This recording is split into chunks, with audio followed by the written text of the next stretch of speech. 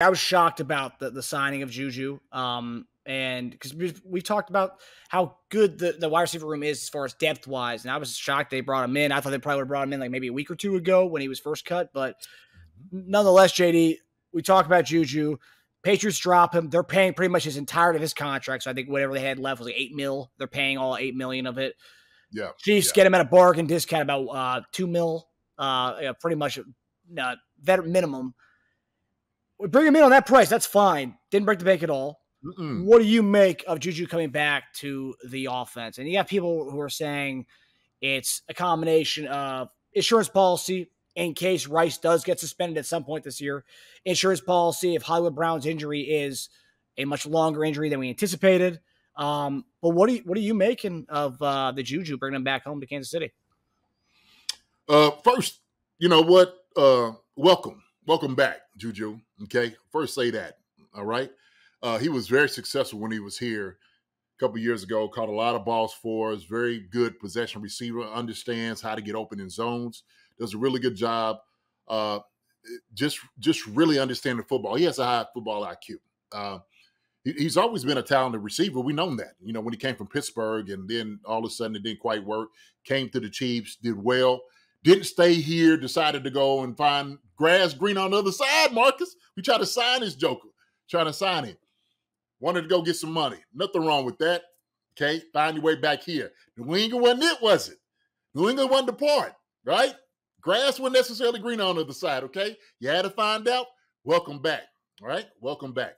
Now, that being said, I do believe that this signing, this signing has something to do with, now this is my estimation, my opinion, uh, about some of maturity in the room, okay? kind of a veteran receiver, all right, if you will. Uh, because you start looking on the roster, uh, the number of guys that had experience, uh, there's not a whole lot of guys. We were talking about longer than two. There ain't a whole lot of guys that have a lot of years of experience playing with the Chiefs. We just got a little bit younger.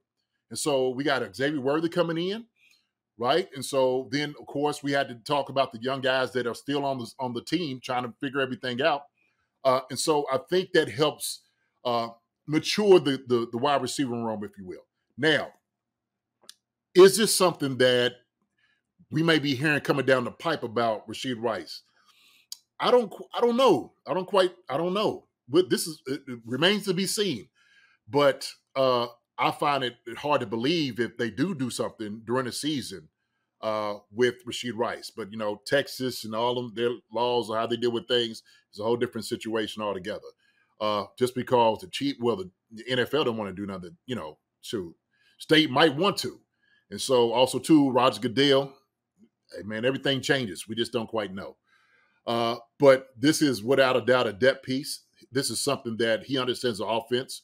Matt Nagy loves him a lot because of the things he's able to do. Like I said, the understanding of the offense. So I do believe this is part of what that is. I think it is depth piece. Guy that is a veteran, understands with some maturity how to be a professional. He's not going to get into any type of trouble. He's doing TikTok dances and all of that he's going to chill out. And so sometimes I said this before, personality is very important in experience uh, in big games. And so he was very successful when he was here. That's what I think it is. So what do you what do you think with what I just said? I agree. Um, I wonder this is something that people aren't talking about a lot, you know, because we bring him back in as far as being the veteran voice, and it's it's so interesting. And I know last year he's pretty much plagued with injuries, the ankle injury, his knees are, you know, he's got some banged up ankle and knee injuries, and yeah, he was outplayed by Demario Douglas and Kendrick Bourne last year, and also too, you talk about Belichick, you know, probably rode those guys into the ground a little bit last year, but for him being 27, it, it his play just looks like an older player, significantly older than 27, which is just so it's, it's so bizarre in a way. And he also started his career out early uh, in Pittsburgh, so that, that also plays a part in it too. But I, I think I agree with what you're saying. I think what he provides as far as the intangibles um, yeah. far outweigh what he can do on the field at this point, and being able to guy who knows the system, kind of like when we brought Hardman in last year. We brought a guy in who knows the system, who yeah. can teach the young bucks, maybe teach some nuances to Rashee Rice that maybe Rashee Rice is a second year guy. You know, and that's everyone always said Rice was taking over that Juju role. Now Juju's back in the building. He can teach Rice some of the other things. And, you know, Rice, a far superior athlete than Juju. And, but Juju can teach him some different things that you know. If Ed Ken, who's been in the league for a long time, played under Big Ben, played with Antonio Brown, you know, yeah. he's been around the block a little bit. He can teach these things to uh, Rashee, which I love from that point of view. Mm-hmm. My question is, we're talking about the end of the the, the receiver room, which we'll get to your uh, depth chart. I know we have said that Hardman kind of gets a leg in there because he's that veteran voice. Now we yeah. saw Hardman play till end of that game last week. You know, he, he was playing the week three uh, third, beginning of third quarter, uh, and, and, and entirely through the second quarter. But like, is he maybe the surprise candidate? Because we signed him pretty late in free agency. Is he maybe the surprise candidate? Maybe they thought, okay, we cut Hardman. We don't really have that veteran voice in the locker room. Let's go get uh, Juju, who can be that veteran voice. If we do cut Hardman, I mean, is that way? Maybe that's the way they try to rationalize cutting Hardman. We bring in another veteran guy who can be that veteran voice in the locker room. I don't know. I'm surprised, and I don't know I, I have a feeling I think I know who's going to get cut. I don't want it. I don't, I don't, want it to come true, JD. My guy oh, Ross. Oh. But I have a feeling tomorrow is going to be very. I'm gonna be. I might be surprised with it with a uh, few names who, who get cut from that that room. I'm trying to brace myself for it, but I mm-hmm. might be surprised with some of the names who are cut from that room given this Juju signing. Well, I,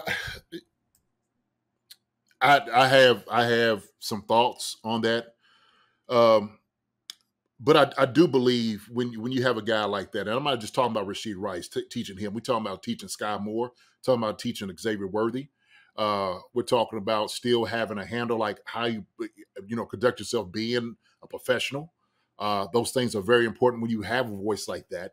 Uh, that that can really you know temper attitudes or whatever else, right? You you watch a guy, you know what he's been doing, how he works, uh, and, and so sometimes from some of the conversations, all right, that you know has was heard last year and things that was said was that some parts of the wide receiver room there one might have been a little immaturity there. Okay, might have been not enough of the work in or putting the effort in to get better. Um, not saying that this problem this year, but you wouldn't want to have a guy who's not a burner. We got burners. We we got guys who could you know top take the top off the defense. We we we have enough of those. Now we need a guy that can get open, settle in a zone, who is a possession receiver uh, who does a great job. We know that, right? If Hollywood is going to be out for an extended period of time, like you said, we don't quite know what that means, right? He could be out one, two, maybe the third game. We don't quite know. And it all depends on how, how fast this healing process is going, um, uh, you know, for him. Uh, somebody said it. He's an insurance piece, great insurance piece. He's a guy, like I said, he caught what seventy nine balls for us, I think that that year, wasn't it? So in, incredible job, almost a thousand yards. If he didn't have a thousand, um, you know, I don't have the stats in front of me, but he was he was very productive. He was a very productive guy. Yet he may not be the same guy. We don't know that. We don't quite know where his ankle or his knee is at at this moment. What you can do is you can maintenance a guy like that, and we some and look what people don't understand is this: when you go to New England, they gonna run you into the ground. Bill Belichick and those guys, they don't care if you can practice or not. They're gonna say get out there because we we paid you this money we expect to see you out there practice. Any of those guys will take a different approach to take care and, and having maintenance a guy. Okay. You don't have to take all the reps in practice. Get what you need to get. You understand the offense. We need for you to play on Sunday. And so he'll be able to do it. He'll have young guys behind him. Uh, but somebody uh, posed a, uh, an actually a, a solution uh, to some of the things that might be going on. I was like, that that kind of makes a lot of sense. And I don't know if it's true or not if they would do it, but I would actually like that. I actually agree with it. So they're going to bring seven. It's going to be seven wide receivers going to be on the run. I know everybody keeps saying six. We're going. To, It's going to be seven wide receivers carrying. Okay, on the roster. All right. Uh, I think Hardman's going to be one of the guys. I don't think we get rid of him. Hardman's a guy that understands what he needs to do. Also, too, he's a fast guy. He's a returner. Uh, he brings a lot to the table. He could play multiple positions. And so we know he's a weapon. So Hardman for me was the fourth receiver. I know everybody was saying, you know, Justin Watson. I think Hardman is a guy that can do it all. Special teams out. He has all of that about him. Uh, older veteran guy. They know him. Why get rid of a guy like you know that that has won Super Bowls with you? You know, you bring him back. This is home for him. Okay, I think he's a piece that is a consummate piece that's here. Uh, the guy you're talking about, Justyn Ross, right? Is he the guy that's on the bubble? He, he could be. He definitely could be. Somebody said this, okay, and I, I like to give him credit uh, when I find out who it is. But he said, "What if they decided to make RB three Kadarius Toney? Okay, put uh, CEH on IR, Kadarius Toney as the third running back, and then you could keep a Justyn Ross. Then you can make room for guys. If I'm not mistaken, let me just see if that's if that if that's enough guys. Hold on, right? Hollywood, Worthy, Watson, Skyy, Justyn Ross, Hardman. One, two, three, four, five, six. That, oh, that's still somebody out the door. Yeah, still somebody out the door. Uh, un- unless you also pair that, parlay that with putting Hollywood on a PUP or something. Yeah, I, which you could, you can do. I, you know, I, I think. uh uh I don't think they do it with Hollywood. I think he's a lot, he's further along than what they're saying. Um, but, but, so I'll get I'll do I'll do this. Okay, I'll do this. I could give you my seven wide receivers right now. Is that okay? If I if I give everybody my seven wide receivers, I'm thinking is there. Let's right? do it. All right. Rashee Rice, Hollywood Brown, Xavier Worthy, Justin Watson, um, Hardman, Skyy Moore, and Juju. Okay, that's that's the seven. That's what I'm looking at. Okay. Uh, so that's that's that's how I look at the seven wide receiver room right now. That's the seven guys in the wide receiver room. Um, Michael Romo says CEH is back at practice. He is, but how far along is it? Like we don't we don't you know that's up in the air. That could be part of that insurance piece that we're talking about, right? So if he's not, then we're talking about the other two guys may be out. They may be out, but you have to have a guy. Okay, Rashee Rice is your one. Hollywood, absolutely worthy. Watson, Skyy, Juju, and Hardman. Those guys like that is going to carry you through where you need to. Okay. Justyn Ross has a skill set that is needed for the Chiefs. The thing is, I don't know how much of that skill set we're going to be utilizing. That's the only problem. That's the only issue. And so, Marcus, as much as we love to see back shoulder throws and balls thrown up in the air, they might just not have the need for it. Maybe they feel like they got enough there. And look, I'm I'm saying this. I shoot. They may keep it. They may. There might be some shakeups that we just don't quite see. We just don't know that right now at this moment. We just know that Juju, when he came in, he's he's he's there. Okay, he's a possession receiver. Rice, another guy. Okay, Hollywood, that's another thing that we don't quite know. We don't know exactly where his whole the condition of everything with his, you know, uh, you know, collarbone is. Okay, deviation. We don't quite know how good that is. So that's that's the thing. Uh, it's going to be a lot of things that we, you know, speculate. A lot of things coming up, but I do believe there's going to be some type of a shakeup of guys being let go. The guys going like, oh my gosh, I can't believe let let this dude let him walk. So, what do you make of? Uh, I've seen someone just shoot this out today. Um, mm-hmm. Irv Smith Jr. is a guy who he was playing late in the games. We, yep. we have we we have three other tight ends that they're you know Gray, uh, Wiley, and Kelce. I mean, and I don't think there's any dead money with uh, cutting Irv Smith.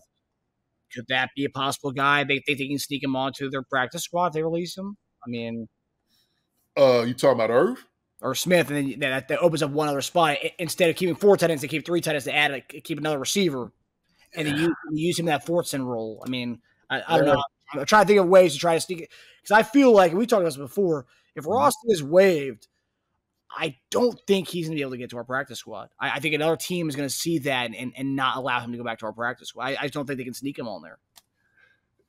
Here's the thing there's a lot of talented receivers out there that's going to get released. Okay. Uh, could we put him on practice squad? Sure. I think Rick Henderson said put Ross on the practice squad. Uh, is it possible he's gone in 48 hours? Maybe.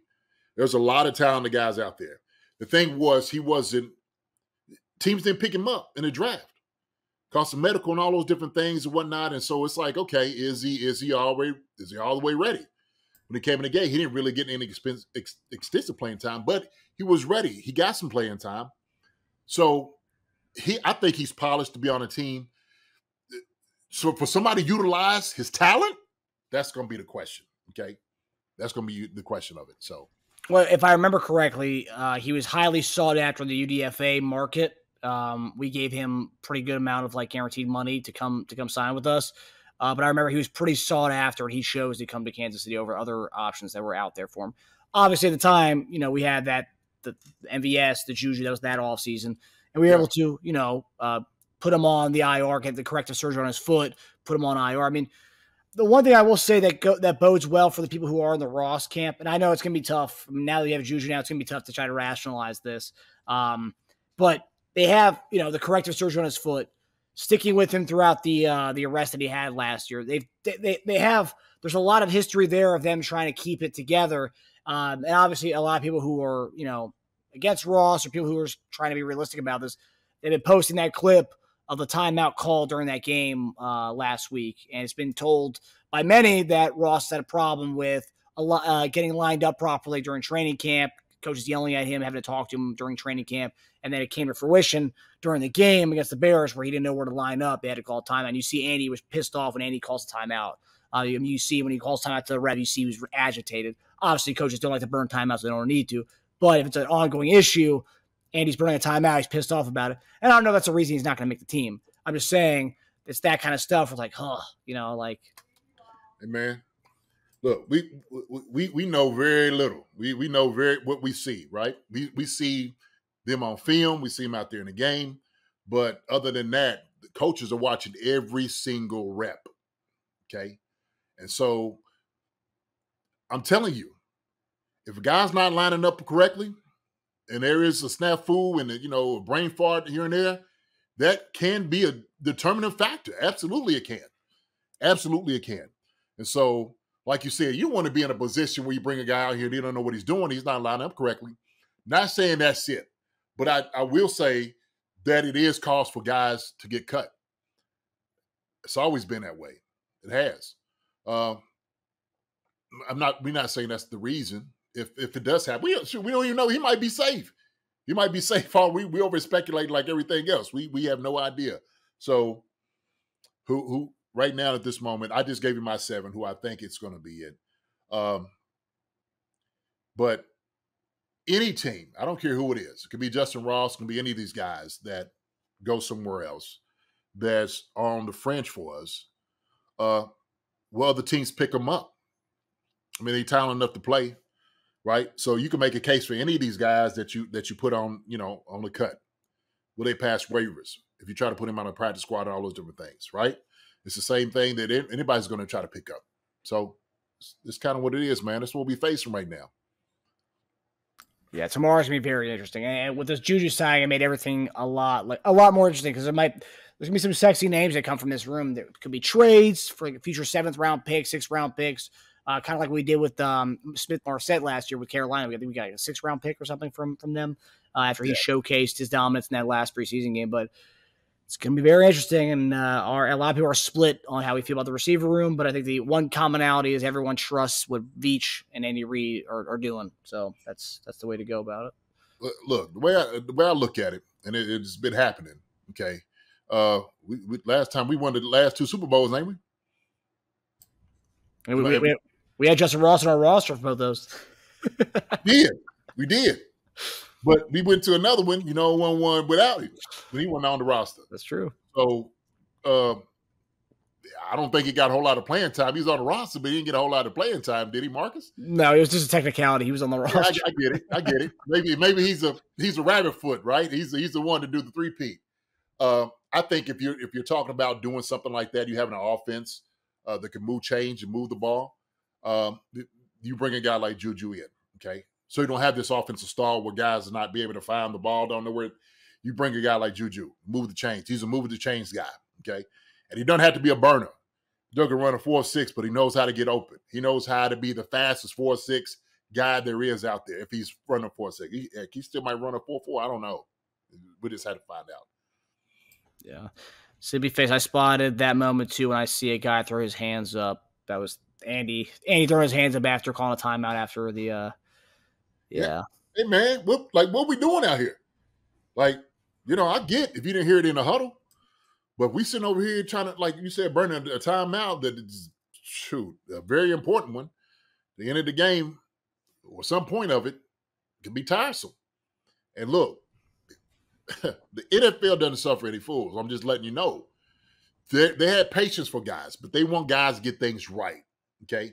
That's how important it is. And so this cut down, this roster cut down, they're trying to make sure they have the right 53 men, okay, to go for this three-peat, to win the entire thing. And so uh, that's how it works, man. They're trying to find guys that's ready to play football, who are dedicated, who's who's who's tip top, football IQ, getting everything right. They're they're not sitting back saying, we're not going through all the headache we did last year. Okay. It wasn't fun for Patrick. Patrick's like, hey man, it's not fun. If guys over here is not getting it, it's not fun for me to do this. I'm not gonna be yelling at anybody during this season. Everybody needs to be on top of the game. So and quite frankly, the Juju Smith, I know everyone's trying to make sense of it by saying, oh, it's insurance it is insurance, but for different reasons. So the Rice, we don't know when that suspension is going to hit. And a lot of people don't think it will happen this year, but it could happen this year. But we don't mm-hmm. know. We're, we're at the mercy of the NFL and Texas on that. So Rice, that's a mystery situation. Xavier Worthy's a rookie. He's been hindered by hamstring all throughout uh, uh, the offseason and camp. He's also a small guy, so we don't know what's going to happen with him. Things can happen in the NFL. Small guy too, so that's that's a mystery in its own way. And yeah. then Hollywood Brown, already off to uh, injury, and he's also had injury problems in his past too. So right off the bat, that's three guys out. So let's say those three guys are out. We, we never go get Juju. Then we're left with Watson, Moore, Juju, uh, not Juju, uh, Watson, Moore, Hardman, Ross, KT. Pretty much back to last year again. And, and without Rice this time, let's say he, you know, he gets suspended. So this is just a another guy that we can trust, that Mahomes can trust, that Nagy can trust. If God forbid anything happens to those guys, so I, I, I love it for that reason. Yeah. Injuries happen all the time. We know that. And so you got to have a guy in here that that is good enough that there's no drop off and saying, okay, well, what do we do now? With Juju, you don't have to ask that question. What do we do now? We got the answer. So, hi, everybody. Thanks for watching. Subscribe here to get the latest from the show. Also, be sure to check out the best clips from Chief Concerns. And if you prefer to listen to the show, subscribe and follow us on Apple Podcasts, Spotify, and anywhere else you get your podcasts.